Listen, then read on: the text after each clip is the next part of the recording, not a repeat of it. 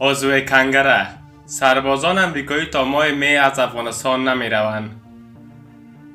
پیشنهاد خلیلزاد برای نشست جدید با طالبان بر سر تشکیل دولت موقت. کشته شدن حدود 100 طالب مسلح در هفت ولایت کشور. به نام خداوند بخشاینده و مهربان و با تقدیم سلام به از دیگر از ویدیوهای کانال جنرال انفو خوش آمدید. رئیس کمیته خدمات نظامی مجلس نمایندگان امریکا گفته است که نیروهای این کشور تا اول ماه می از افغانستان خارج نخواهند شد.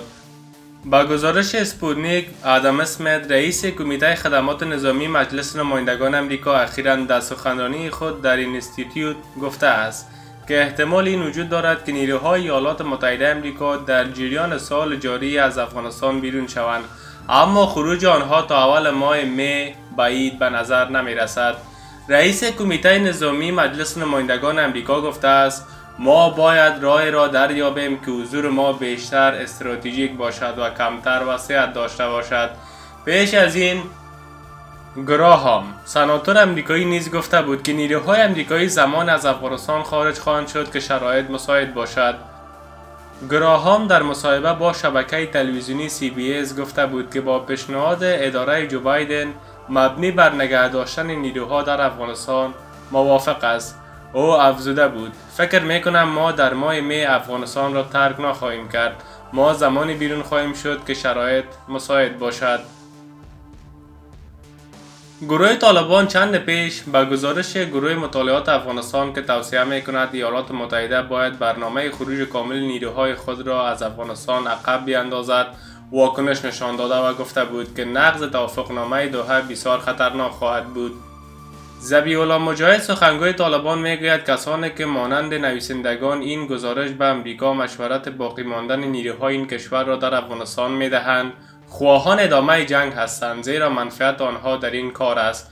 بر اساس توافقنامه صلح امریکا و طالبان که در ماه فبروری سال گذشته میلادی در دوحه به امضا رسید امریکا متحد شده که تمام نیروهای خارجی تا ماه می از افغانستان خارج شوند. اما در برابر گروه طالبان تعهد دادند که روابط خود با گروه های تروریستی دیگر را قطع کرده و اجازه تهدید امنیت امریکا از خاک افغانستان را ندهند.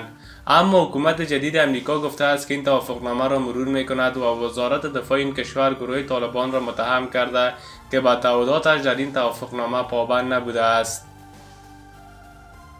پیشنهاد خلیلزاد برای نشست جدید با طالبان بر سر تشکیل دولت موقت.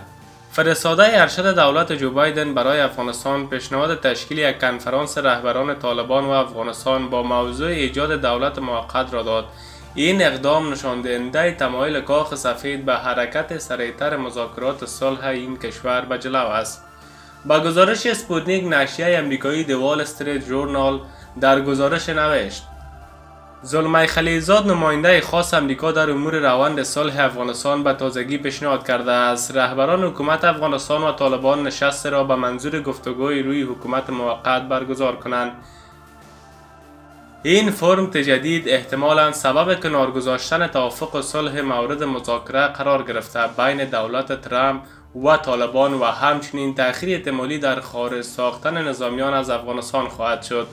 کاخ سفید اما گزارش پیشنهاد خلیزاد را برای برگزاری نشست رد کرده است کاخ سفید گفته است این گزارش وضعیت فعلی را به طور دقیق احتوا نمی کند ایالات متحده هیچ گونه پیشنهاد رسمی نمی دهد و به بررسی تمام گزینه های مربوط در مورد رویکرد آینده نیروها ادامه می دهد. از سوی دیگر کاخ سفید با کم اهمیت اعلام کردن این برنامه پیشنهادی عنوان کرد خلیلزاد صرفا در حال بررسی مجموعه از گزینه ها برای حرکت به سمت جلو است. در بیانیه کاخ سفید آمده است که سفیر خلیزاد در مورد تیف وسیع از روش ها برای پیشبرد دیپلماسی بحث کرده است نه چیزی دیگر از طرف هم نت سخنگوی وزارت خارجه امریکا روز گذشته گفته است که خلیزاد و تیمش به منطقه رفته تا در مورد مسیر پیشرو بحث کند. این در حالی است که جو بایدن رئیس جمهور امریکا مشغول بررسی اقدامات بعدی خود در قبال افغانستان است. لوید آستین وزیر دفاع امریکا ماه گذشته میلادی گفت من از همه طرف ها می خواهم مسیر رفتن به سمت سال را انتخاب کنند. خشونت ها باید اکنون کاهش یابند.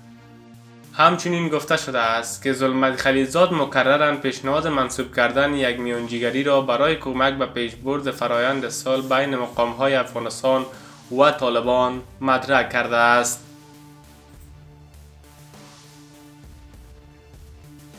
کشته شدن حدود 100 طالب مسلح در هفت ولایت کشور وزارت دفاع ملی با نشر خبرنامه های جداگانه کشته شدن 96 طالب مسلح را در ولایات ننگرهار، کندهار، فاریاب، کاپیسا، کندوز، بغلان، هرات تایید می کند.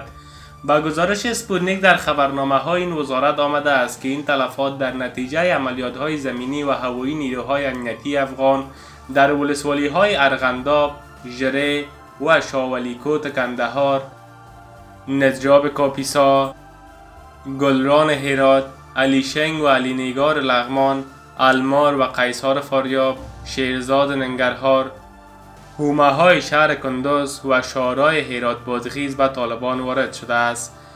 خبرنامه افزوده همچنان اردوی ملی با کشف و خونساسازی 13 حلقه ماین طالبان در مربوطات ولسوالی ارغنداب و میوند ولایت کندهار از رویدادهای مرگبار تروریستی جلوگیری کرده زندگی ده تن را نجات دادند گروه طالبان تا کنون در این باره چیز نگفته است این در حال است که درگیری میان نیروهای امنیتی و دفاعی و طالبان مسلح از چند ماه بدین سو در ولایت کندهار جریان دارد.